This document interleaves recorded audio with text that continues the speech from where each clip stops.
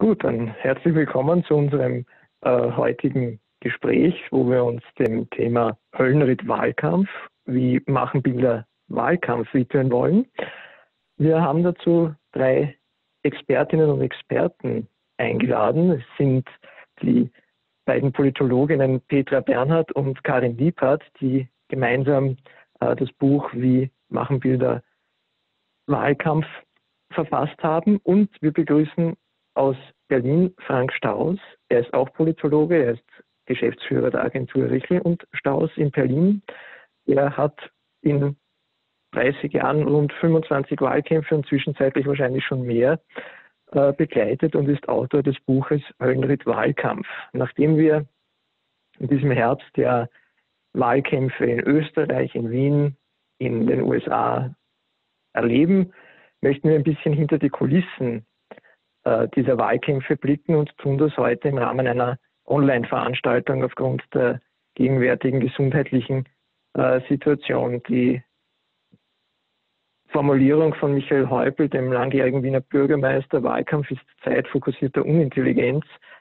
Da passieren halt gelegentlich Dinge, die nicht gescheit sind, leider auch nicht in der eigenen Partei. Das ist natürlich in Wien besonders bekannt.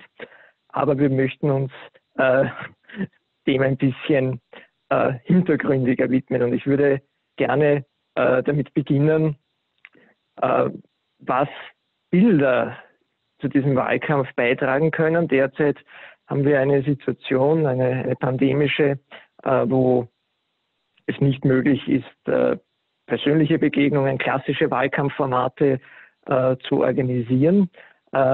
Nichtsdestotrotz bräuchte es eine Sichtbarkeit in dieser Werbung. Jetzt würde ich gerne, äh, Frau Liebhardt, mit Ihnen beginnen, äh, um Ihre Einschätzungen zu hören zum Thema visueller Kommunikation. Wie wichtig ist die Sichtbarkeit im Wahlkampf? Wie äh, wichtig ist damit auch die Wahrnehmbarkeit von Politik verknüpft? Frau Liebhardt? Also Sichtbarkeit und Wahrnehmbarkeit von Politik äh, sind untrennbar miteinander verbunden. Versteht sie mich? Ja, ich. Perfekt. Ich hoffe, unsere Zuhörerinnen und Zuhörer auch. Das ist nichts Neues. Prinzipiell, das heißt, Politik war immer schon auf das Darstellungselement auch bezogen, war immer schon äh, ganz wichtig auch die Sichtbarkeit, das Visuelle in der Politik. Das hat sich sicher jetzt in den letzten Jahren oder auch in den letzten Jahrzehnten schon, aber in den letzten Jahren dann ganz besonders mit äh, den sozialen Medien und den anderen Möglichkeiten, die es dadurch gibt, nochmal verstärkt. Aber schon in den 70er Jahren zum Beispiel hat Murray Edelman gesagt, Politik hat immer zwei Elemente. Es gibt immer das Herstellungselement und es gibt das Darstellungselement. Und wenn die beiden nicht miteinander verknüpft sind, dann ist nicht klar, was die Politik ist, weil sie nicht bei den Bürger und Bürgerinnen ankommt, weil sie nicht äh, sichtbar ist, eben wie Sie eben auch schon in Ihrer Einleitung gesagt haben. Und äh, die besondere Qualität von Bildern für Wahlkämpfe ganz speziell, weil es sicher verdichtete Zeiten der politischen Kommunikation sind, aber generell in der Politik ist, dass man mit Bildern etwas transportieren kann, was vielleicht mit Worten nicht so gut rüberkommt. Das heißt, äh, Bilder äh, funktionieren ja nach einer anderen Logik als Texte Sie funktionieren nicht linear, sondern assoziativ, äh, holistisch. Und äh, daher kann ich ein Bild auch schneller erfassen. Diese schnellere Erfassbarkeit von Bildern ist sicher ein Vorteil in der politischen Kommunikation.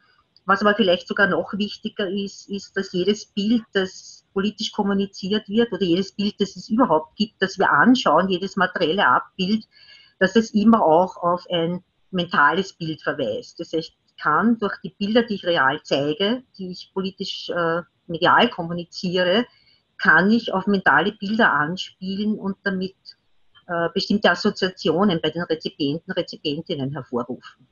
Also Bilder haben eine Qualität äh, in der Kommunikation, die durch Texte alleine nicht erreichbar wäre. Darf ich nur kurz nachfragen? Ähm, die die Sichtbarkeit wird ja auch von einer Professionalisierung äh, beeinflusst.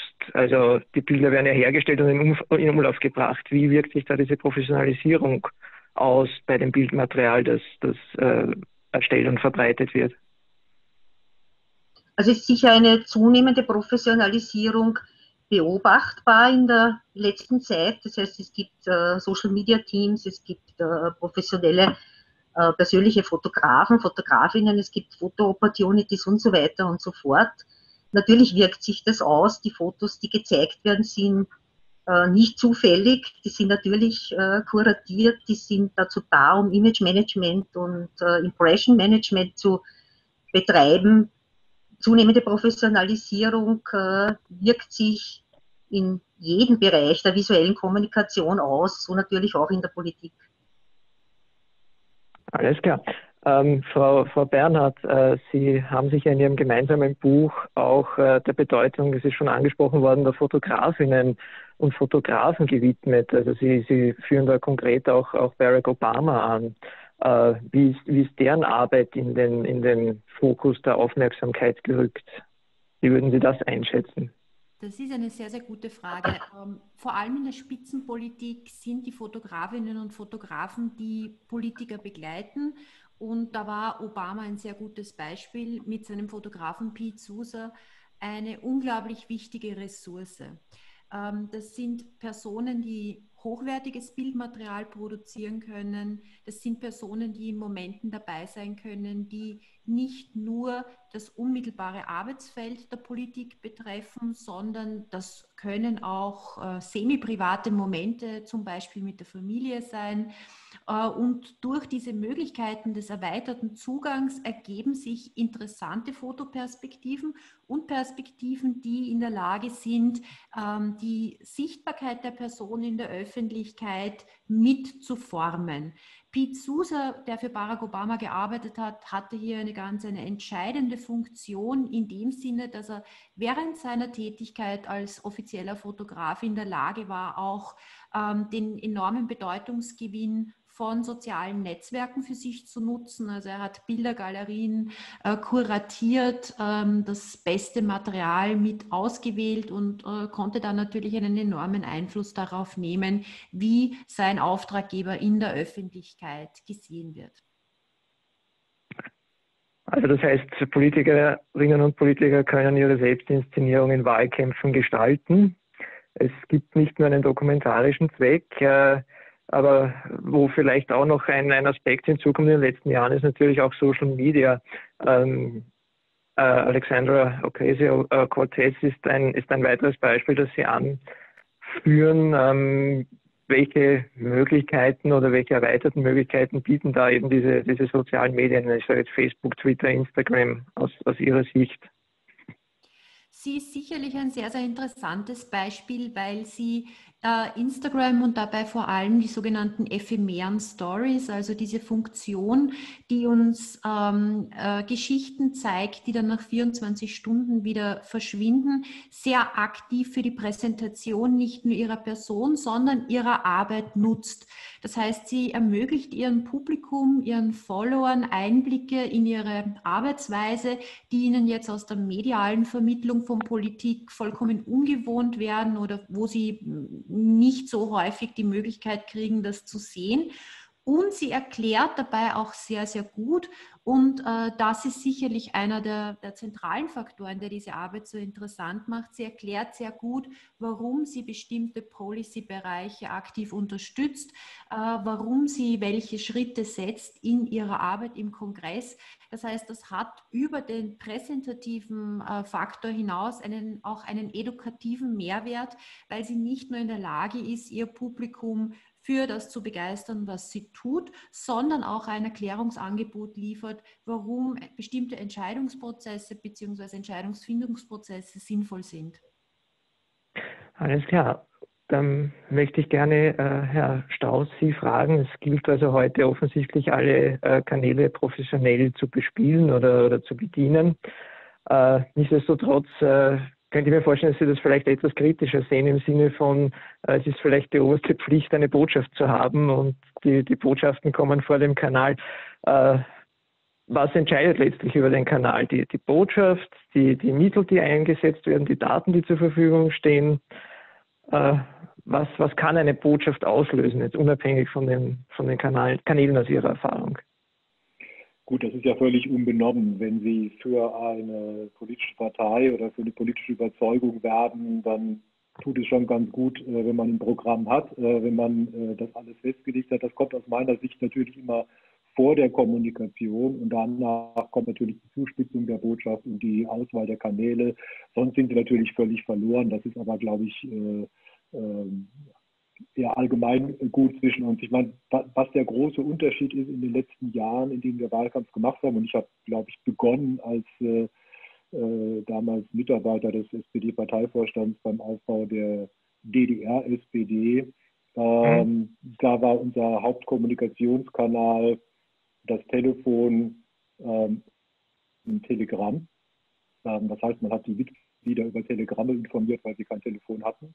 Äh, da hat sich doch einiges geändert, ähm, auch was die Inszenierung angeht. Aber was sich natürlich über den Zeitraum jetzt von 1990 bis heute massiv geändert hat, ist eigentlich etwas, was das Gegenteil von dem ist, ähm, was es gerade genannt wurde, nämlich die absolute Kontrolle äh, über die Bilder, über die Inszenierung. Das ist ja genau äh, eine Situation, die wir anders erleben heute, nämlich das Entgleiten von Kontrolle.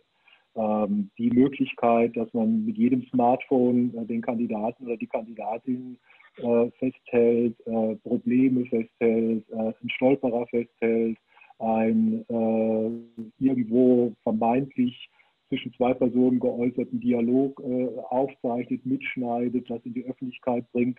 Ähm, das heißt, was wir ja erleben gerade, was natürlich wiederum auf der anderen Seite also auf der Seite der Wahlkämpfer dazu führt, dass man sagt, ich möchte eigentlich möglichst viel Kontrolle über das Ereignis, über den Event, über den Hintergrund haben, weil ich auf der anderen Seite natürlich auch in Anführungsstrichen Gefahr laufe, äh, dass mir, ähm, dass mir alles entgleitet, wenn ich das vorher nicht durchinszeniere. Das heißt, es ist ein absolut zweischneidiges Schwert. Ähm, Sie haben es ja in Ihrem Buch auch, das selbstverständlich äh, gelesen habe, äh, erwähnt, äh, die, die, äh, die Inszenierung auch der, der Bundeskanzlerin Merkel, ähm, wo eben sehr, sehr stark durch, durch Advanced Teams, durch, das, durch, die, durch die Presseteams im Prinzip schon Korridore festgehalten werden, in denen überhaupt äh, fotografiert äh, und Interviewsituationen hergestellt werden können. Das ist ja schon so ein Versuch zu verhindern, ähm, dass äh, das Material rausgeht, das eben nicht gewollt ist. Ähm, auf der anderen Seite ist es natürlich auch so, wer das heute nicht macht, das kann man natürlich immer sagen, das ist ja furchtbar inszeniert und so weiter und so fort. Auf der anderen Seite, wer es nicht macht, bekommt zum Teil von der gleichen Öffentlichkeit und von den gleichen Journalisten natürlich vorgeworfen, dass er komplett unprofessionell unterwegs ist. Das heißt, wenn Sie heute spontan ein Interview geben als Politiker und hinter Ihnen ist ein Notausgangsschild oder ein Feuerlöscher, äh, dann produzieren Sie automatisch ein Bild, von dem Sie definitiv wissen, dass es über die Social-Media-Kanäle äh, Verbreitung findet, aber nicht in ihrem Sinne. Ähm, und deswegen sucht natürlich eine, eine Kampagne, aber eben auch schon äh, Regierungs-, äh, ähm, Öffentlichkeitsarbeiter versuchen natürlich, Bilder so weit als möglich zu kontrollieren. Das ist kein neues Phänomen, das wurde ja schon erwähnt, das gibt es schon lange. Es gibt auch schon lange die Inszenierung auch des Privatlebens. Das hat in Deutschland Willy Brandt bei Kennedy abgeguckt, indem er sich dann mit Ruthbrand und den Kindern auch gerne mal zum Frühstückstisch äh, traf oder Helmut Kohl am Wolfgangsee natürlich. Ähm, das heißt, das sind natürlich alles Inszenierungen gewesen, aber heute ist es ja viel schwieriger geworden, die Kontrolle über diese Inszenierung äh, zu bewahren. Und das ist ähm, ein Unterschied und auch alles wird natürlich sofort kommentiert, was bisher, äh, also noch vor 10, 15 Jahren eigentlich ausschließlich von der Presse kommentiert wurde und durch den Filter der Journalisten und der Medienhäuser musste. Das wird heute von jedem auf Facebook, Twitter, äh, wo auch immer äh, die Politik unterwegs ist, kommentiert. Das heißt, das ist natürlich ähm, zunächst mal ein Kontrollverlust und der Versuch, wieder Kontrolle zu erreichen. Ja, und damit haben Sie mich jetzt ganz wunderbar zu meiner nächsten Frage an Sie geführt, weil äh, ich, ich habe ein bisschen auf das hingearbeitet, äh, ähm, weil Sie in Ihrem Buch ja auch schreiben, dass man auf immer mehr Kanälen immer weniger Antworten bekommt. Das war jetzt ein bisschen äh, die Richtung, die ich versucht habe. Ähm, Sie, ich nehme an, Sie sind ein Zweifler dessen, ähm, dass man es mit Offenheit und, und Spontanität an der Spitze nicht so lange durchhält. Das wäre jetzt meine Vermutung.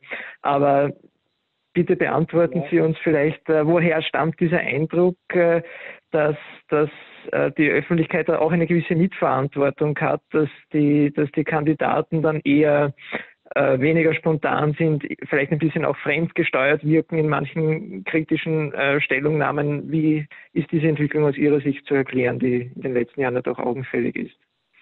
Ja, es wurde ja bereits erwähnt, äh, völlig richtigerweise, dass äh, ein absoluter Spitzenpolitiker oder eine Spitzenpolitikerin, die an der Spitze, an die Spitze kommen will und da auch bleiben, immer beides sein muss. Also da, da braucht es die fachliche Kompetenz, sonst merkt man auch sehr, sehr schnell, dass da jemand auf dünnem Eis steht, aber es braucht eben tatsächlich auch ähm, die, die Art und Weise der, der Kommunikation. Das kann man allgemein als Charisma bezeichnen. Das ist aber sehr unterschiedlich gelagert. Also ein Charisma von Barack Obama unterscheidet sich sehr, sehr deutlich von dem von Angela Merkel. Ähm, deswegen waren trotzdem oder sind beide äh, erfolgreiche äh, Kommunikatoren.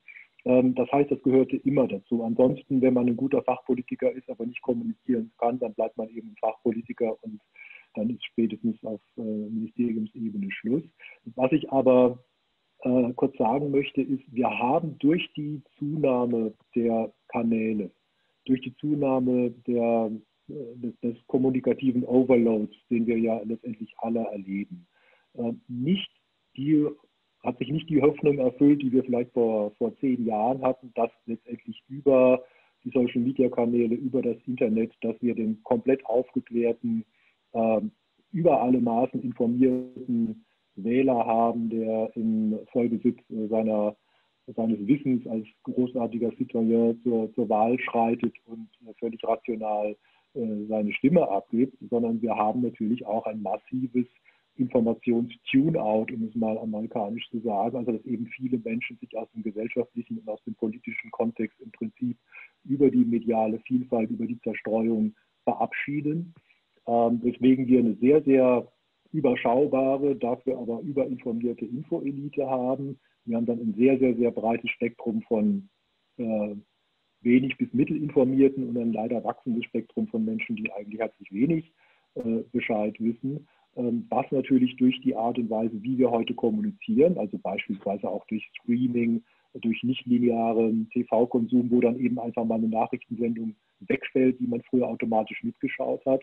Dadurch haben wir natürlich eine Situation, dass die Politik letztendlich in ihrer Verknappung immer klarer werden muss. Wenn ich dann wirklich viele Menschen erreichen muss, die eben nicht mehr eine Tageszeitung haben, die auch schon zu einer gewissen Tiefe der Information beigetragen hat, ähm, dann muss ich tatsächlich mit der Botschaft immer knapper und klarer und auch einfacher werden, was ja nicht bedeutet, dass ich unehrlich werden muss.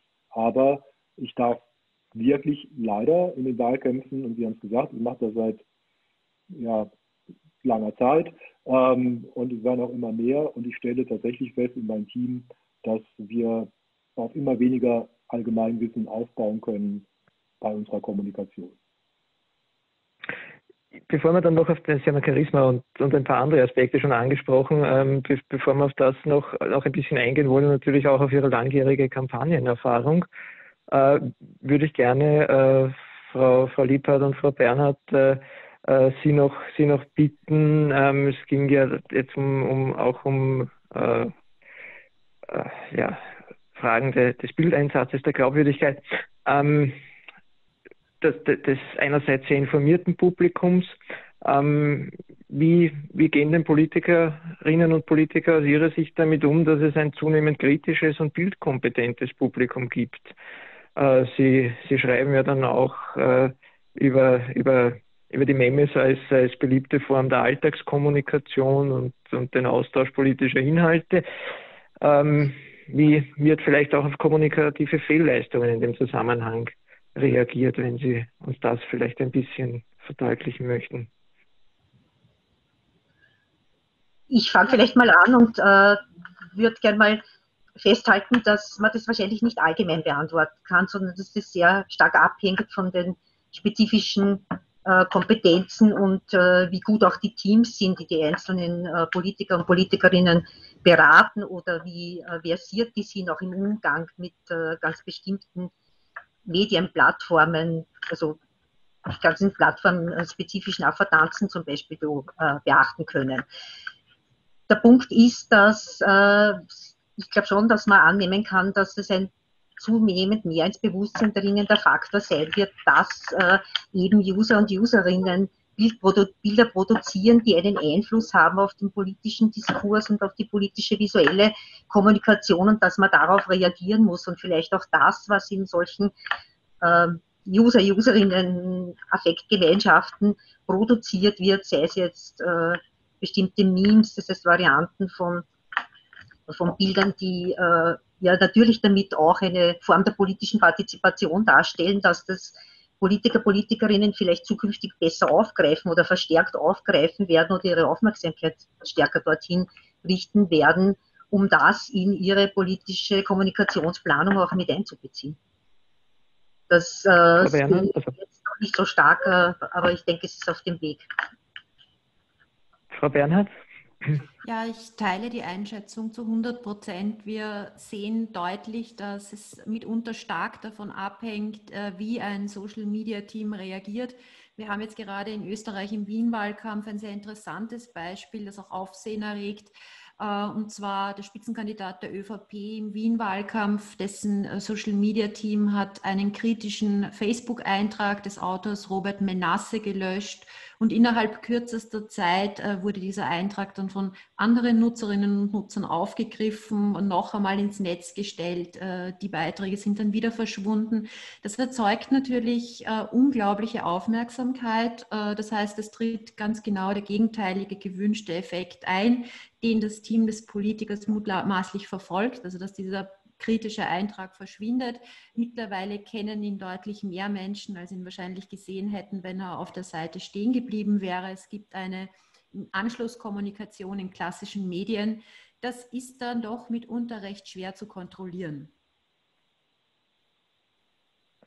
Ähm, die Macht der Bilder, das vielleicht auch ein bisschen, ein äh, bisschen noch kritisch zu diskutieren, ermöglicht ja immer nur einen eingeschränkten Blick auf die Politik. Äh, wovon ist dieser Blick geprägt, Frau Bernhard? Also ich teile auch äh, die kritische Einschätzung, die Herr Staus vorhin äh, abgegeben hat, ja. äh, voll und ganz. Äh, diese verstärkte Sichtbarkeit ist ein unglaublich ambivalentes Phänomen. Also einerseits ist es ja auch mit einem enormen Ressourceneinsatz verbunden. Äh, die Begleitung von gerade Spitzenpolitikern und Politikerinnen ähm, in den verschiedensten Situationen ist mit, einer, mit einem Anspruch an die Politik verbunden, der ja auch unglaublich schwer einzulösen ist. Also nicht äh, jede Person fühlt sich vor einer Kamera oder mit Dauerbegleitung einer Kamera unglaublich wohl. Das sagt zunächst einmal überhaupt nichts über die Kompetenzen dieser, äh, dieser Person als Politiker oder Politikerin aus. Das ist eine, eine performative Qualität, die jetzt nicht alle in gleichem Maße haben. Gleichzeitig existiert dieser enorme Anspruch, sich sichtbar zu machen und auch ähm, Sichtbarkeitslogiken, die, die medial vorgeprägt sind, zu erfüllen. Das ist eine, äh, eine Wahnsinnsbelastung und eine extreme Herausforderung. Und zwar nicht nur für die Personen selbst, sondern selbstverständlich auch an Ressourcen. Das heißt, es privilegiert mitunter auch ähm, politische Gruppierungen, Parteien, äh, die sich das leisten können. Das ist ein, ein gutes Stichwort, äh, Parteiengruppierungen, die sich das äh, leisten können. Äh, Herr Strauß, Sie haben natürlich nicht mit den Budgets, die in US-Wahlkämpfen zur Verfügung stehen, äh, aber mit den Mitteln einer Bundespartei, einer, Sie waren vornehmlich für SPD-Wahlkämpfe in Deutschland tätig, auch auf, auf Landtagswahlebene. Also ich, ich darf Malo Dreyer nennen, ich darf äh, Klaus Wobereit nennen, ich darf Olaf Scholz nennen. Ähm, Wann haben Sie sich, und Sie haben ja schon Ihre beginnende Tätigkeit damals in Berlin und mit dem Ausbau der SPD Ost äh, erwähnt und der, der, der Volkskammerwahl in der DDR. Wann haben Sie beschlossen, dass Sie Wahlkampf richtig können wollen? Waren das diese also, ersten Erfahrungen oder war es dann die Erfolge mit, mit Bill Clinton und Al Gore? Nein, nein, nein, nein. Ich habe ich hab, ich hab wirklich ein, äh, ein, ein für einen äh, Jugendlichen oder gar Kind äh, sehr, sehr einsames Hobby äh, gepflegt mit, mit Wahlkämpfen. Also es ist tatsächlich eine, eine, eine, eine Geschichte, die mich von Anfang an äh, fasziniert hat. Ähm, ich habe das auch in dem Buch mal, mal kurz beschrieben, dass ich ähm, wirklich 1976 auf der Rückbank äh, meines, meiner unseres Audis äh, saß, mein Vater am Steuer und äh, meine Mutter. Das war ein Wahlsonntag und neben mir meine Schwester und ich saß die ganze Zeit völlig verrenkt hinten und habe meinen Helmut Schmidt-Aufkleber von innen gegen die Heckscheibe gehalten, weil ich ihn nicht draufkleben durfte.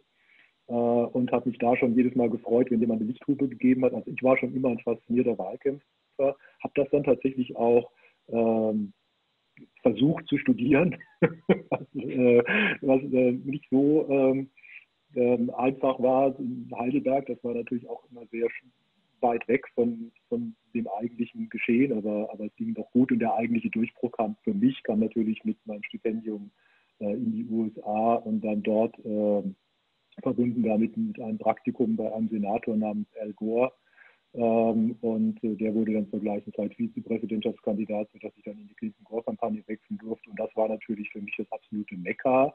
Da sind wir aber schon bei der Geschichte, die ja auch in dem Buch sehr, äh, sehr eindrucksvoll, ähm, also in Ihrem Buch, Frau Bernhard lieber sehr eindrucksvoll beschrieben ist. Es ist tatsächlich ja schon immer der Kampf um diese Bildhoheit gewesen. Ich habe das tatsächlich zu dem Zeitpunkt erlebt, da war es für mich neu. Für die gab es wahrscheinlich auch schon Wahlkämpfe, die zehn Jahre zuvor lagen. Und ich habe unheimlich viel aus dem Clinton-Gore-Wahlkampf, äh, dann später im, äh, im Obama-Biden-Wahlkampf wieder erlebt. Nur natürlich immer mit fortgeschriebenen Technologien, auch mit fortgeschriebenen äh, Ansprüchen. Und äh, da komme ich nochmal auf Ihre Frage zurück. Es ist natürlich ein Punkt. Sie müssen das alles bewältigen können.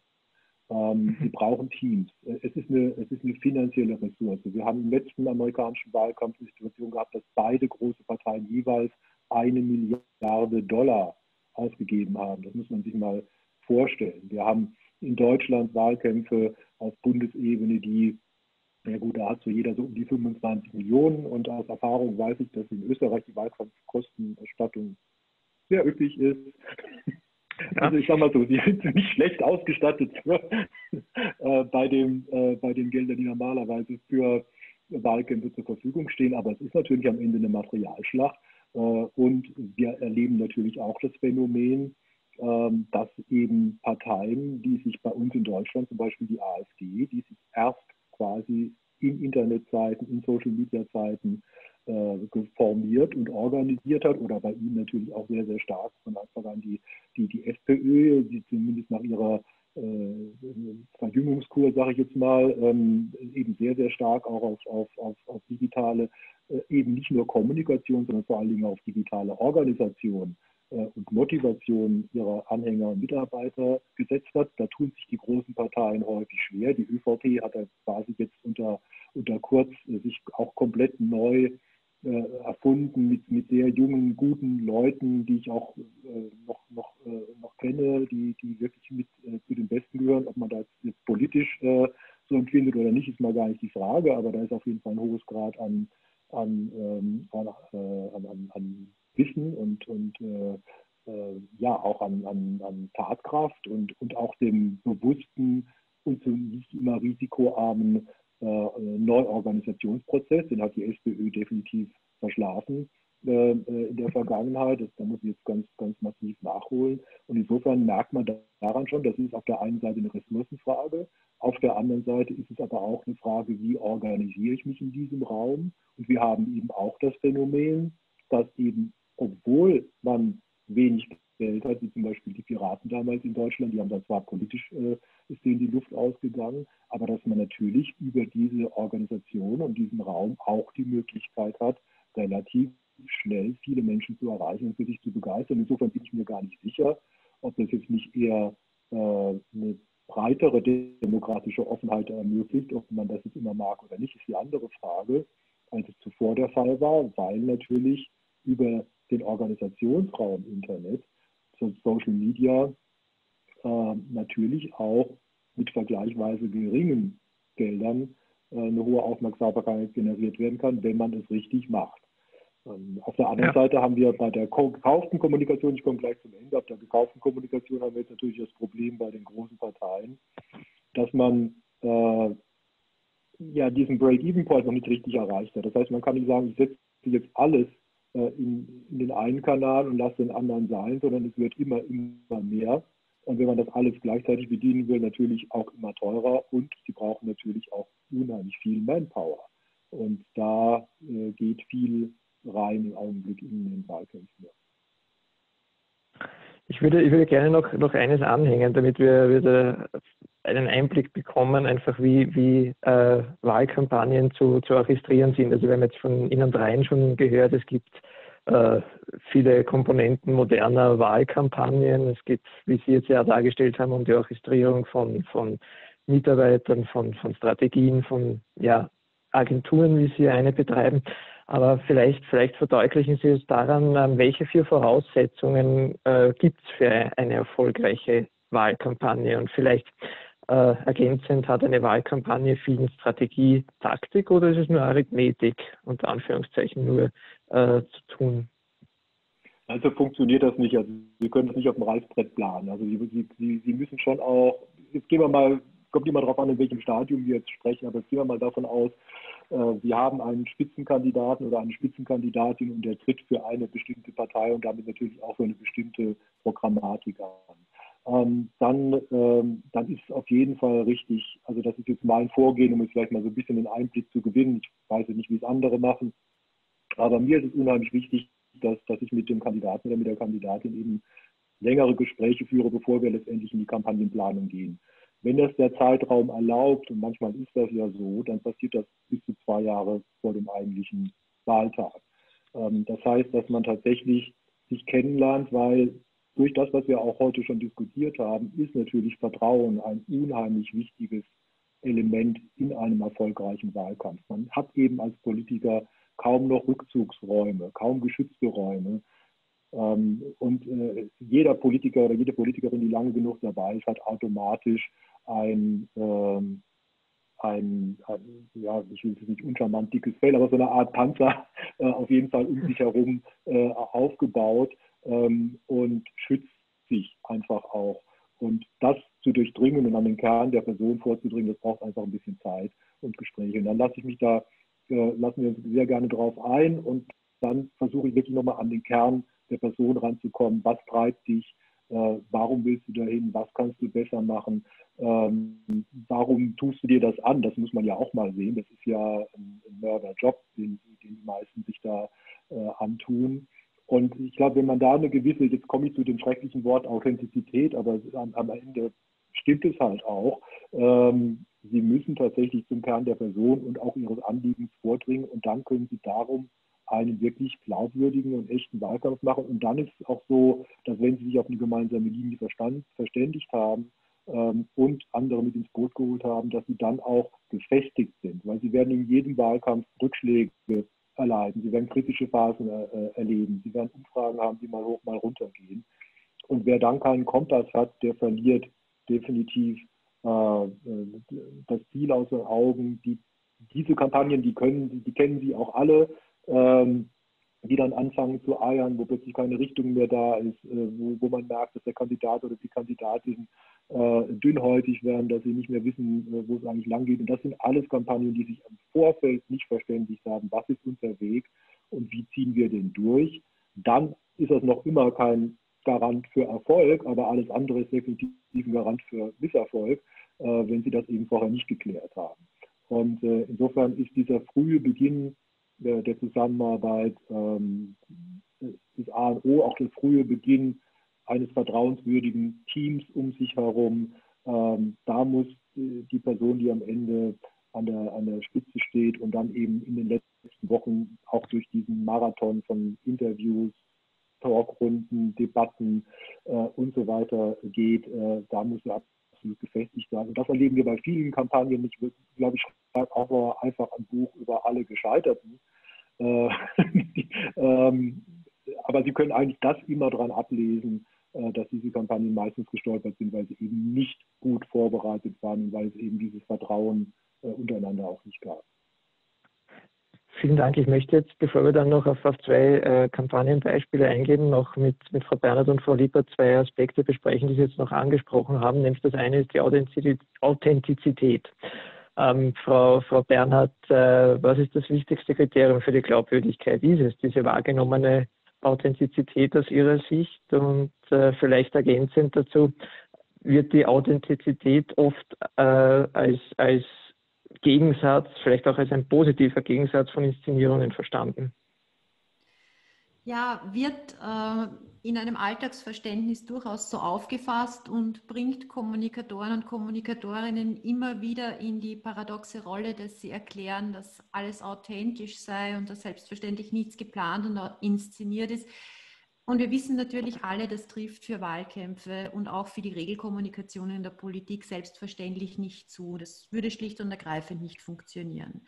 Die Wissenschaft geht davon aus, dass Authentizität ein relationales Konzept ist. Das heißt, ähm, ein Politiker, eine Politikerin wird nie für alle Publikumsgruppen in gleichem Maße authentisch wirken oder glaubhaft wirken, sondern es wird für verschiedene Gruppierungen mehr oder weniger gut funktionieren.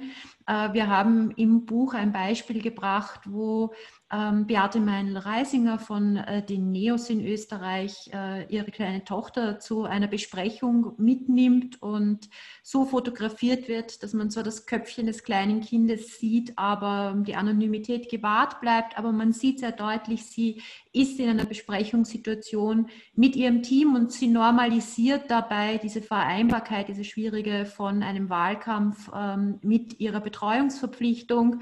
Und dieser Eintrag hat für ihre, in diesem Fall Instagram-Community, sehr, sehr gut funktioniert. Also die fühlten sich angesprochen, die haben den Beitrag sehr gelobt. Das war ein Beitrag, der kam enorm gut an.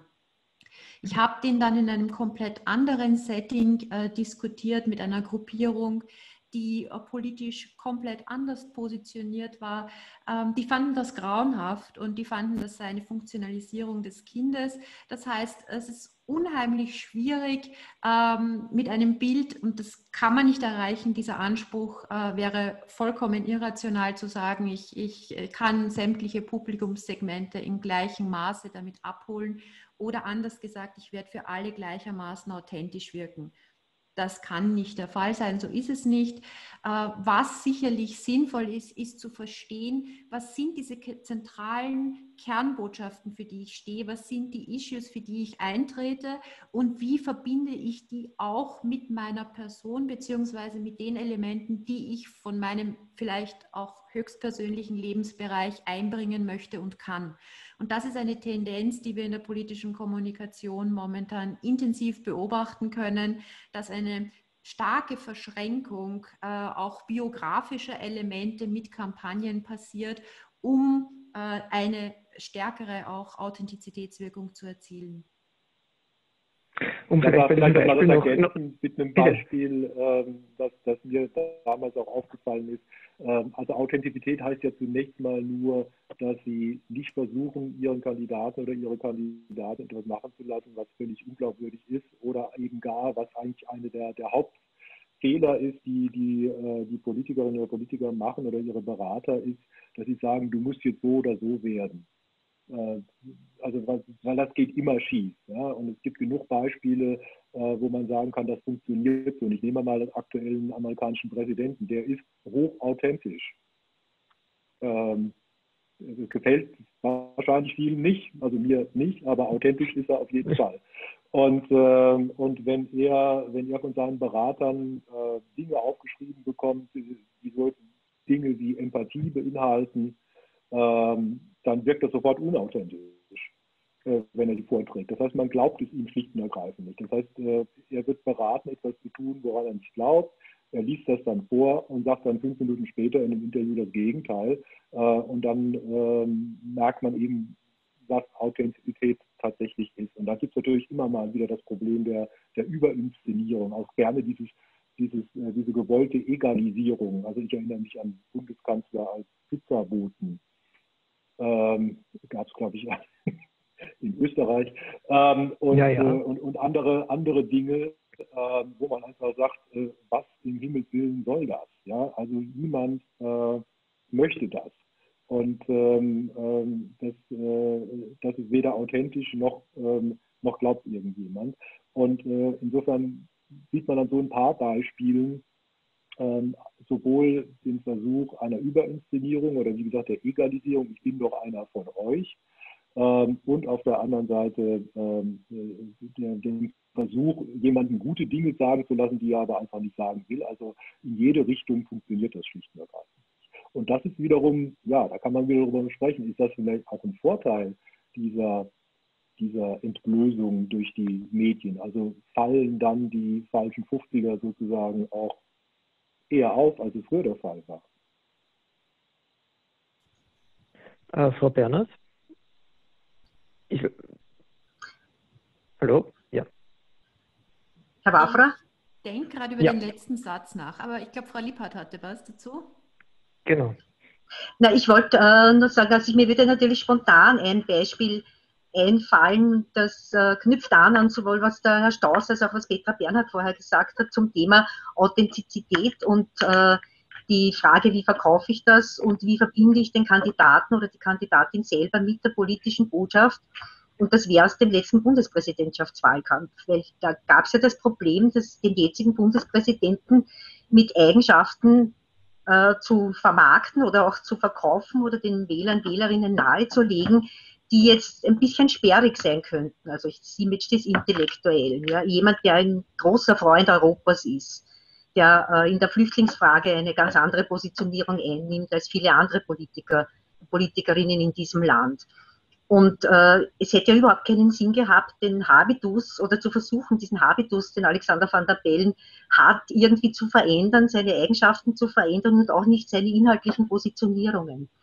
Und was gemacht worden ist in dieser Kampagne, ist äh, diese Elemente zu einer Story zu verknüpfen, die mit der Biografie des Kandidaten verbunden war, mit der Fluchtgeschichte seiner Familie, mit seiner Verankerung lokal, regional im Tiroler Kaunertal, mit äh, dem, dass er Heimat als etwas definiert, wo man angenommen ist und nicht etwas, was territorial sowieso vorgegeben ist. Äh, eine gewisse Ironie über die eigene Rolle als äh, älterer Intellektueller und so weiter und so fort. Und was das Ganze verknüpft hat, waren Bilder der österreichischen Landschaft. Das heißt, es war die Klammer, da war das Visuelle, die Landschaft, die Klammer, äh, mit dem Authentizität, äh, die Story, die Person, alles verknüpft worden ist und ja, letztendlich äh, gut funktioniert hat. Äh, letztendlich war es sehr, sehr erfolgreich. Und es ist auch über viele verschiedene Kanäle gespielt worden. Das heißt nicht nur über Social Media, die sehr, sehr wichtig waren in dem Wahlkampf, aber natürlich auch über die Plakate und über äh, die Spots und so weiter und so fort. Also das wäre ein Beispiel, äh, wie sowas umsetzbar ist. Alles klar, also die, das Zusammenspiel von visueller Kommunikation mit Text, äh, also mit Texten, mit, mit, mit Botschaften und, und äh, vielleicht in gewisser Weise auch mit Sprache, wenn man, wenn man die Auftritte unseres Herrn Bundespräsidenten seinen den überlegten Worten ja äh, da ein bisschen, bisschen beobachten möchte. Ich wollte noch, ich wollte noch einen Aspekt ansprechen, den, den Herr Staus äh, vorhin angesprochen hat. Das war nämlich der, das war nämlich der, der Panzer, den sich Politiker zulegen. Sie, Sie befassen sich ja in Ihrem Buch auch äh, damit, äh, welche Effekte das, das Politainment, wie Sie, das, wie, wie Sie das nennen haben, oder auch das Negative Campaigning und wie sich das wie sich das ändert. Ähm, wie, wie funktioniert denn das heutzutage? Wie werden diese Fehler und Schwächen der politischen Gegner oder ihrer Positionen äh, betont? Sie haben ja das positive Beispiel gebracht, wo Alexander von der Bellen das eigentlich zu einer, zu einer Stärke umgedreht hat.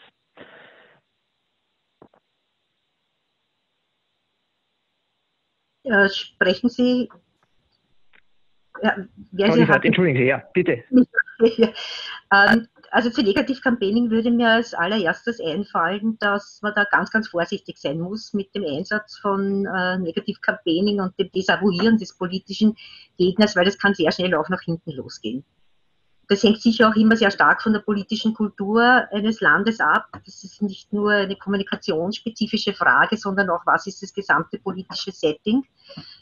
Äh, es kommt trotzdem immer wieder vor, was genau Negative Campaigning ist, ist auch ein umstrittenes äh, Konzept. Also gibt es Diskussionen, muss man da wirklich den Gegner richtig beleidigen oder ist äh, eine Form der wertenden Abgrenzung, geht auch schon in diese Richtung. Also es ist ein recht ein, ein breites Feld. Bei uns äh, ist jetzt in unseren Forschungen, in unserem Buch ist jetzt Negative Campaigning nicht so was ganz, ganz Zentrales. Das äh, kommt auch vor, aber ja, das wäre mein Einstieg, aber ich denke, Petra Bernhard hat sich auch noch was zu sagen dazu. Ja.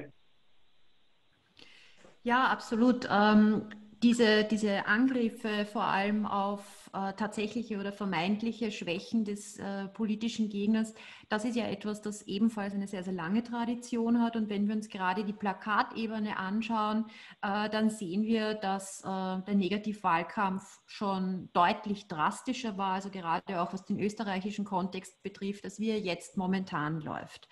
Äh, was natürlich eine, eine Ausweitung des momentanen kommunikativen Spektrums ausmacht, ist der Umstand, dass sich äh, neben den Kampagnen selbst verstärkt auch Nutzerinnen und Nutzer einschalten, die dann ähm, Themen der Kandidaten oder Eigenschaften der Kandidaten aufgreifen und sie im Netz zum Beispiel über Memes oder über selbstproduzierte Bilder thematisieren. Wir haben vorhin von Alexander van der Bellen gesprochen. Äh, da wurde zum Beispiel das Thema Rauchen unheimlich ambivalent äh, diskutiert. Äh, einige Memes haben das als als äh, Faktor von Coolness gesehen, ähm, als, als Lifestyle-Element. Andere wiederum äh, haben sich auf den Aspekt der Negativkampagne draufgesetzt und gesagt, ist das bei einem Kandidaten dieses Alters nicht auch noch ein gesundheitliches Problem? Also das heißt, ähm, kaum ein mhm. Bereich, der thematisiert wird über einen Kandidaten, eine Kandidatin kann nicht auch zum Gegenstand von einer Kampanisierung werden. Das ist ähm, sicherlich ein sehr, sehr problematischer Aspekt und sicherlich auch einer, der Kampagnenplaner und Planerinnen sehr beschäftigt. Ja, das ist mir nämlich bei dieser Van der Bellen-Kampagne, muss ich sagen, also von der, von der FPÖ-Seite, von der, von der ja. Gegnerseite nämlich auch besonders um, unangenehm aufgefallen und darum wollte ich diesen Aspekt schon auch noch äh, behandelt wissen von den Expertinnen und den, und den Kampagnenmachern. Äh, bevor ich dann noch eine, eine Abschlussfrage an Sie habe, die auch ein bisschen einen Ausblick geben soll an Sie drei. Äh, Herr Staus, wir haben jetzt über, über die Kampagnen gesprochen. Ähm, nachdem Sie das Buch von, von, von Petra Bernhard und Karin Lippert erwähnt haben, ich darf jetzt auch Ihr Buch einblenden in der, in der erweiterten äh, Neuausgabe, diesen Spiegel-Bestseller.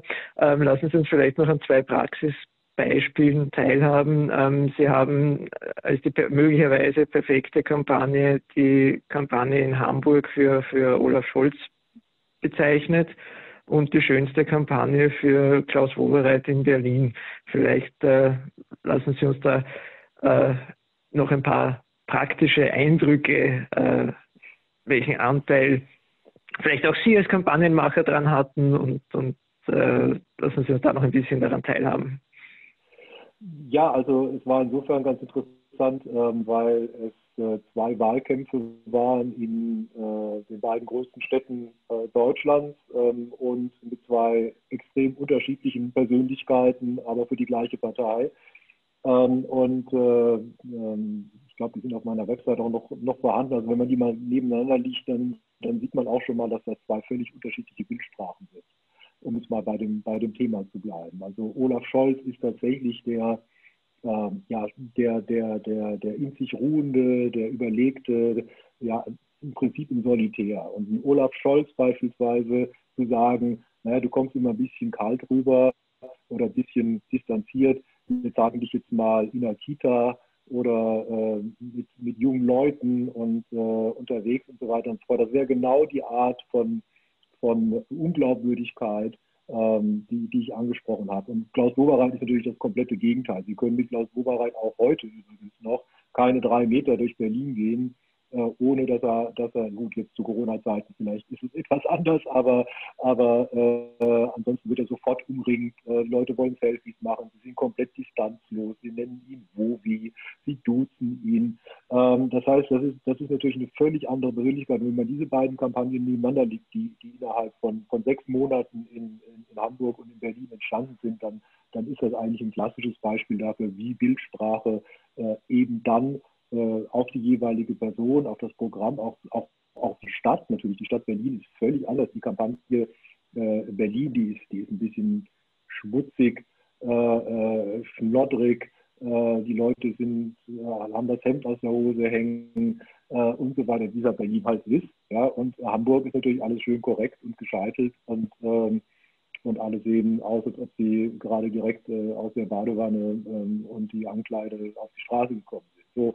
Und äh, das sind einfach diese, diese Art und Weise, wo sie einfach das Gefühl auch vermitteln können. Das ist jetzt zwar ganz banal über das Traditionsmedium Plakat, das aber kurioserweise in den Zeiten, in denen wir sind, ja gar, gar nicht an Stellenwert verloren hat, weil äh, im Gegenteil, also wir haben hier natürlich über das Plakat eine Situation, dass das nach wie vor ein Kanal ist, wo wir sehr viele Menschen erreichen, weil egal wo sie sich sonst in, in, in, sozialen Medien oder im Fernsehen oder sonst wo tummeln, auf die Straße müssen sie irgendwann. Ähm, und, äh, und, dann, äh, und dann erreiche ich sie eben darüber. Das heißt, das ist eigentlich ein, ein Beispiel, ähm, was auch noch wichtig ist, ist das vielleicht ein Aspekt, den wir später noch diskutieren können. Bei der Gemein, bei der Bildwelt, bei den Bildwelten möchte ich auch noch mal kurz einen Aspekt drauf werfen, was für ein großer Unterschied ist, ist ob sie äh, für einen Mann oder für eine Frau werben.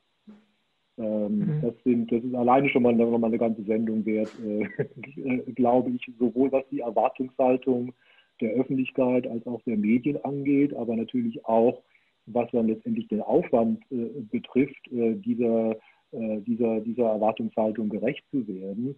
Ähm, und äh, das ist zum Beispiel ein sehr, sehr großer Unterschied. Und dann, vielleicht kommen wir dann später in der Debatte noch dazu, natürlich jetzt auch, wie generiere ich eigentlich Bilder zu Corona-Zeiten? Also ich habe eine Erwartungshaltung, ich habe ein gelerntes Erwartungs, eine Erwartungshaltung in der Bevölkerung, was Politik, Politikvermittlung, Nähe zu Menschen angeht. Ich habe natürlich Personen, Politiker, das darf man nicht vergessen, für die ist das ja nicht immer nur eine Last äh, oder eine Bürde, unter Menschen zu gehen, sondern die lieben es. Also viele tun es und, äh, und zehren daraus natürlich auch Energie und Anerkennung. Und ich mache bereits jetzt gerade im Wahlkampf wieder für Malu Dreier in Rheinland-Pfalz, da ist es schon wieder soweit im März, äh, die leidet darunter, dass sie jetzt Videokonferenzen machen muss, dass sie, dass sie den Leuten, äh, äh dass sie da zehn Meter Abstand äh, hat, äh, dass sie nicht ins Gesicht gucken kann, weil alle Masken aufhaben. Also das, das sind auch Aspekte. Äh, wir werden jetzt also da im März in Deutschland die ersten großen Wahlen haben, in, in, in Baden-Württemberg, in, in Rheinland-Pfalz ähm, und in Sachsen-Anhalt, die unter diesen Bedingungen laufen. Und äh, wir sind alle am Ausprobieren. Also sowohl was die Bilder angeht, wenn wir jetzt an banale Dinge denken, wie die Produktion von Spots, die Produktion von Plakaten, äh, wie nah dürfen da die Leute beieinander stehen? Äh, oder kriege ich dann später, Entschuldigung, einen Shitstorm, weil alle schreiben, das kann doch gar nicht sein und weil wir uns mittlerweile so daran gewöhnt haben, dass Abstand gewahrt werden muss, äh, dass uns plötzlich ein Bild seltsam vorkommt, äh, in dem die Menschen sich umarmen. Ähm, und das sind alles äh, im Moment die Dinge, mit denen äh, ich mich äh, beschäftige, wenn ich nicht an so freundlichen, einer so freundlichen Runde zugeschaltet bin und wo wir uns alle, ähm, wo wir uns alle vortasten. Ja, Sie haben, Sie haben ja Frauen angesprochen, Frauen in der Politik. Sie haben ja auch für Hannelore Kraft äh, einen Wahlkampf, zwei Wahlkämpfe, glaube ich, sogar gemacht. Äh, ja, leider drei. Neben der Glaubwürdigkeit Drei, ah ja, den dritten, ja, den hätte ich jetzt nicht erwähnt, aber man muss auch zu den. Ja, zu den gehört dazu, ja, das ist Demokratie. Ja, ja, ja. Ja, ja, ja, natürlich, klar. Nein, aber ich, ich, ich glaube, dass, dass beide Kandidatinnen ja zunächst unterschätzt wurden und sie ist dann aber mit Glaubwürdigkeit, Offenheit und Empathie und Empathie muss auch in der Spitzenpolitik aus meiner Sicht zumindest keine Schwäche sein, äh, dann gewonnen haben. Aber ich würde jetzt gerne, bevor jetzt mir die Publikumsfragen eingeblendet werden, beziehungsweise dann diese, diese Diskussionsteilnehmer, äh, jetzt dann zugeschaltet werden von der Regie, würde ich gerne noch abschließend eines, äh, eines fragen.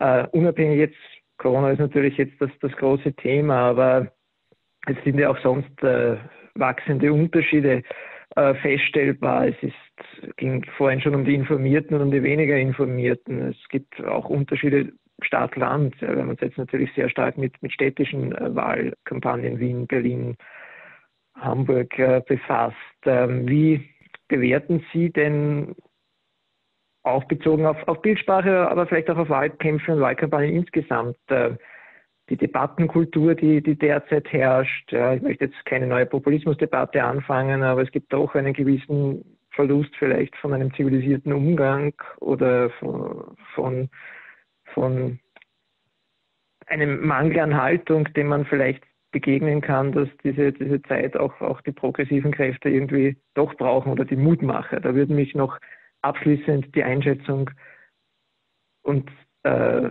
vielleicht dann auch ein, ein, gewisser Ausblick unserer Gäste in, interessieren. Braucht es den Vorwärtsgang statt der Anbiederung? Lange Rede, kurzer Sinn. Wer möchte beginnen? Frau, Frau Liebhardt vielleicht? Ich glaube, die Frage, die Sie gestellt haben, die ist so umfassend, dass man die jetzt äh, wirklich schwer in ganz kurzen Sätzen ja, das beantworten sind, das ja. Das wahrscheinlich auch nicht in einer halben Stunde beantworten.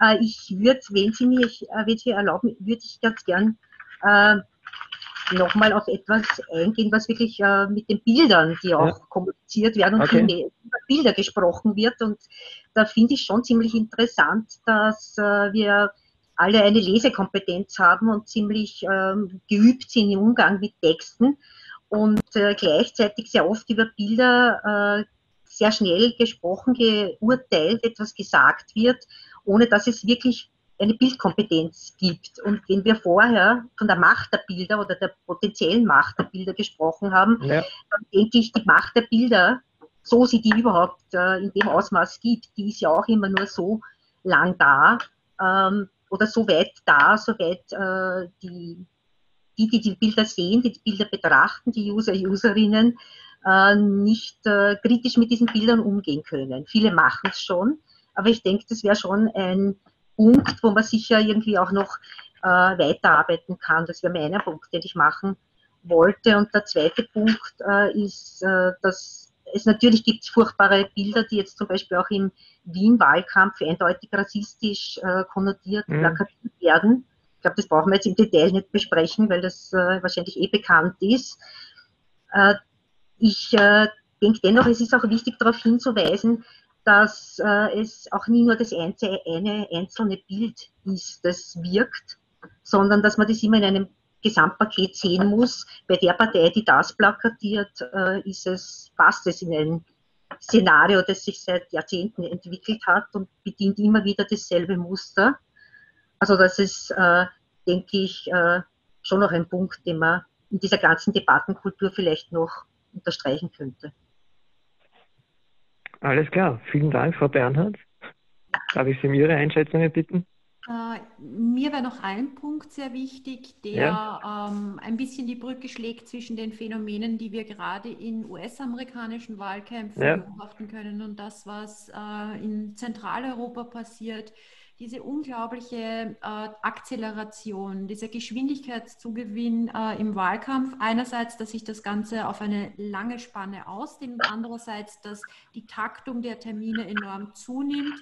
Das fordert nicht nur um, politische Kommunikatoren und Kommunikatorinnen enorm heraus, sondern es ist auch eine enorme Herausforderung für das Publikum und gleichzeitig für eine zunehmend personell, aber auch finanziell ausgedünnte Medienlandschaft. Das heißt, ähm, hier einen Fokus bewahren zu können auf Kernthemen, auf Kernanliegen und nicht in einen Metadiskurs ausschließlich zu kippen, um zum Beispiel über stilistische Fragen hauptsächlich zu sprechen. Ich glaube, das ist ein ganz ein entscheidender Punkt, auf den wir uns konzentrieren sollten und müssten, äh, damit für die, die Politik nachvollziehen wollen, die sie verstehen wollen, die sich in diesen Prozess aktiv einbringen, einbringen und involvieren wollen, noch klar wird, worum geht es denn eigentlich? Und das ist nicht so sehr die Frage, was hat ähm, Politiker A und B vielleicht für einen Kindheitsberufswunsch äh, gehabt und der wird dann für ein großes Boulevardblatt aufgeführt mit einer äh, Bildstrecke, sondern ein anderer Fokus. Und ähm, das müsste eine, eine Einigung sein, die sowohl die Medienlandschaft betrifft, als auch die politische Kommunikation und damit die Parteien und politischen Akteure, Akteurinnen selbst, hier vielleicht einen Gang runterzuschalten nach Möglichkeit, um den Fokus auf die zentralen Aspekte zu richten. Vielen Dank, Herr Staus. Ja, ich denke, Sie hatten ja auch gefragt, wo ist denn da jetzt ein Fenster für eine, für eine progressive äh, Politik oder für ja, eine progressive genau. Koalition? Also ich denke, zunächst mal, wir haben jetzt schon eine massive Veränderung der, der Agenda durch, durch Corona. Das darf man klar sagen. Das ist ja ein kollektives Ereignis, wie man es so, ja, also ich zumindest noch nicht erlebt habe, die meisten anderen vermutlich auch nicht. Also das ist ja eher gleichbedeutend vielleicht noch mit einem gemeinsamen Krieg, den, den, den, den, den die vor, äh, vor 60, 70 Jahren äh, Generationen erlebt haben, aber ein kollektives Erlebnis, wo man sagt, okay, ich muss jetzt so und so viel äh, Rücksicht nehmen, ich muss meinen Lebensstil verändern, aber eben auch eine völlige Akzentverschiebung, was die Rolle des Staates angeht. Und wir haben hier in Deutschland eine Situation, dass die, das Vertrauen in den Staat, also massiv zugenommen hat jetzt in der Corona-Zeit, in allen Umfragen, das Vertrauen auch zur Regierung, zum Regierungshandeln. Äh, gleichzeitig sind andere Themen, wie zum Beispiel gesundheitliche Versorgung. Wir reden hier auch viel über den ländlichen Raum. Wir haben in Deutschland auch viele Schließungen oder schließungsbedrohte äh, kleine Krankenhäuser im ländlichen Raum. Ähm, das ist die Debatte, die sich komplett umgekehrt. Das heißt, die Suche nach einem aktiven, verantwortungsvollen Staat, auch die Orientierung in Richtung eines aktiven Staates hat, hat hier die Agenda ordentlich durcheinander gewirbelt und eben auch die Themen, die ja bei Ihnen auch zum Teil eben dominant waren, obwohl sie zum Teil faktisch eher eine Scheindominanz hatten, also die ganze Frage äh, Asylpolitik, Flüchtlingspolitik und so weiter, die hat sich jetzt eigentlich wieder dahin verschoben, dass die tatsächlich wichtigen Themen wieder stärker auf der Agenda sind.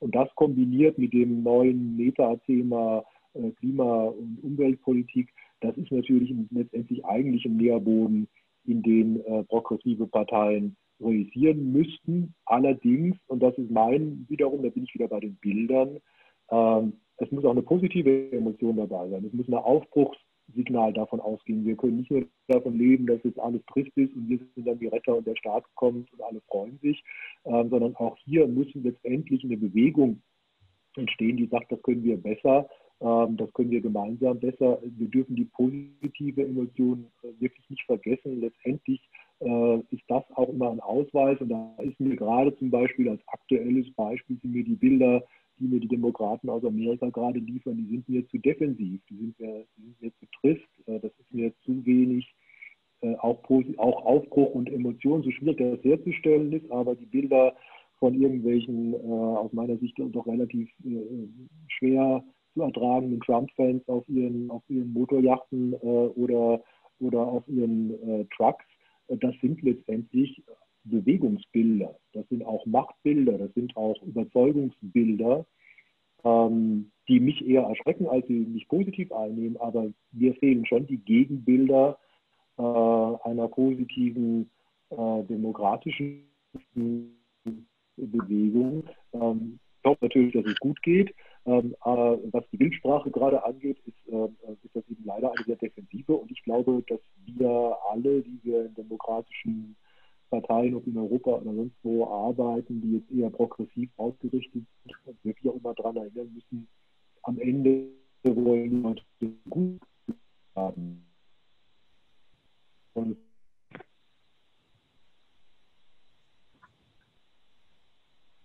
Herr Strauß? Jetzt bin ich, bin ich jetzt gerade eingefroren. Ja, Sie waren äh, kurz, äh, Sie waren kurz weg, wenn Sie vielleicht die letzten zwei, drei Sätze noch, noch mal wiederholen könnten. Achso, ich wollte nur sagen, es geht wirklich um diese positive Emotion. Also wir können uns nicht darauf verlassen ja. als progressive Partei, dass wir nur aus Verzweiflung über andere gewählt werden, sondern wir müssen den Leuten eben selbst auch Spaß machen, müssen wir sogar mal sagen. Alles klar.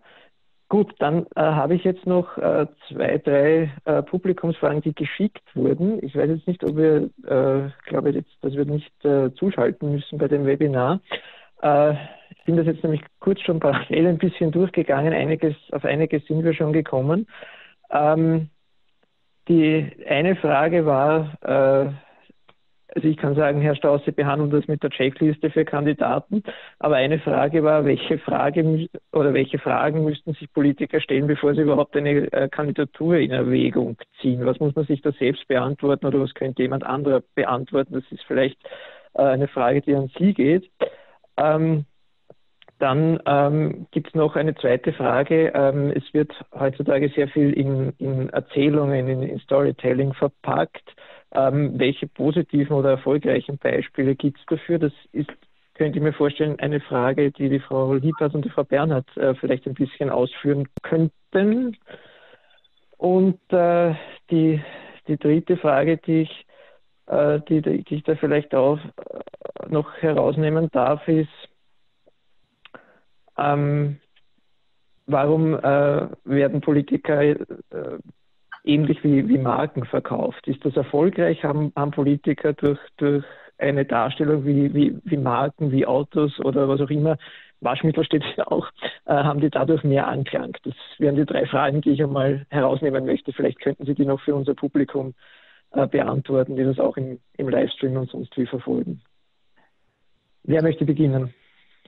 Okay, ich fange vielleicht an und mit der dritten Frage, Bitte, weil über, über, Storytelling habe ich ja am Beispiel von Alexander van der Belt ja. schon was gesagt.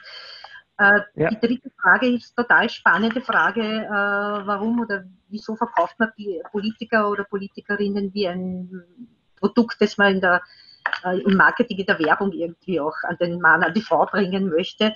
Äh, ich glaube, das hat sehr viel damit zu tun, was wir eingangs unserer Diskussion besprochen haben, nämlich mit der Sichtbarkeit. Also der Wählermarkt oder der Wählerinnenmarkt ist irgendwie etwas, äh, was von sehr flüchtigen Wesen bevölkert ist. Das heißt, ich muss denjenigen, der mich wählen soll, den muss ich irgendwo erwischen.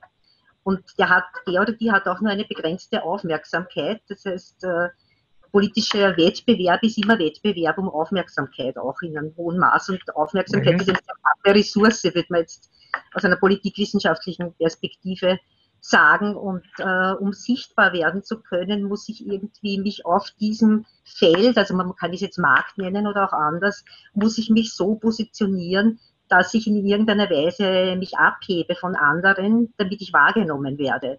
Und im allerbesten Fall okay. äh, irgendwann einmal aus einem Politiker, aus einer Politikerin wirklich sowas zu machen wie ein sogenanntes Brand. Das heißt, ich habe äh, einen ganz bestimmten äh, Position, eine bestimmte Stellung in diesem Wettbewerb um die allgemeine Aufmerksamkeit. Äh, das ist vielleicht ein bisschen was von den Hintergründen, die da in der Frage mitschwingen. Alles klar, vielen Dank. Äh, wer möchte weitermachen? Frau Bernhard vielleicht? Ja, mache ich gern weiter. Äh, wir hatten einerseits das äh, Beispiel für progressive Erzählstrategien, wie sie Frau Lippert beim Van der Bellen-Wahlkampf erwähnt hat, und wir hatten das Beispiel Alexandria Ocasio-Cortez, die momentan ein bisschen als der äh, Goldstandard des progressiven Geschichtenerzählens diskutiert wird. Um das nochmal ganz knapp herunterzubrechen, wir haben ein paar Elemente, die dabei immer wiederkehren. Es ist einerseits ähm, die akteurinnenzentrierte Perspektive, die Verbindung des biografischen Elements und der eigenen Motivation mit der politischen Biografie. Also was stattet mich ähm, für dieses Amt aus? Warum strebe ich in die Politik? Was ist für mich ein Motivator? Was interessiert mich? Dann gibt es die zentrale Ebene der Settings, in denen sich die Geschichte abspielt, wo Frau Ocasio-Cortez sehr stark ähm, ihre Bezirke, die sie vertritt, mit hineingenommen hat in die Erzählung und ihre Interaktion mit den Bürgerinnen und Bürgern zu einem Fokus gemacht hat, der auch immer wieder offensiv auf der Bildebene gezeigt wird. Das heißt, ihre Tätigkeit äh, im öffentlichen Raum, die Interaktion mit Bürgerinnen und Bürgern ist ein zentrales Element äh, dieser Geschichte. Und es braucht natürlich eine eine Handlung, die sich entwickelt. Das heißt, auch ihren Weg in den Kongress thematisiert sie sehr offensiv und hat jetzt äh, in einer weiteren Erzählebene versucht, ein Anliegen, das wir jetzt ebenfalls als ähm, sehr relevant und wichtig für die Vermittlung auch herausgestrichen haben, nämlich das Thema Klimakrise im Zusammenhang mit dem Green New Deal thematisiert und hier ein Erzählformat mit einer Grafikerin beschritten, das ebenfalls interessant ist und äh, in Kampagnen-Communities äh, sehr intensiv diskutiert wird. Also ich glaube, hier, hier tun sich gerade auch sehr spannende Perspektiven auf durch das Hinzutreten von neuen Medien, die für so viele Nutzerinnen und Nutzer einfach nachzuvollziehen und zu bedienen sind, um dieses auch, auch progressive, positive Geschichten erzählen ein bisschen aktiv einzusetzen und zu fördern. Vielen Dank. Äh, Herr Staus, die eine Frage noch, die noch an Sie war, wenn Sie die ja. noch kurz beantworten ähm, wollen. Ja, ich hoffe, ich kriege jetzt hier auch gerade Meldungen immer netzinstabil. Ich hoffe, ich schaffe das jetzt noch, äh, bevor das zusammenbricht. Ja, ähm, ja also die, der Antrieb definitiv, ich fange mal damit an, stell dich nicht vor einen äh, Spiegel und denk, wie muss ich aussehen, äh, damit ich super rüberkomme, äh, sondern die Grundfrage ist natürlich erstmal, warum will ich das eigentlich? Äh, was treibt mich an? Was will ich verändern? Politik ist nach wie vor auch für alle, die es betreiben, die es erfolgreich betreiben, ist es eine Leidenschaft. Und, äh, und es geht immer um Veränderungen, welche Richtung auch immer. Aber das ist der Antrieb und man muss sich wirklich erstmal fragen, was will ich denn tatsächlich? Weil das ist, das ist, das ist die Geschichte. Meistens den meisten erfolgreichen Politikern geht es eigentlich ähnlich wie erfolgreichen Künstlern. Der Antrieb ist erst da.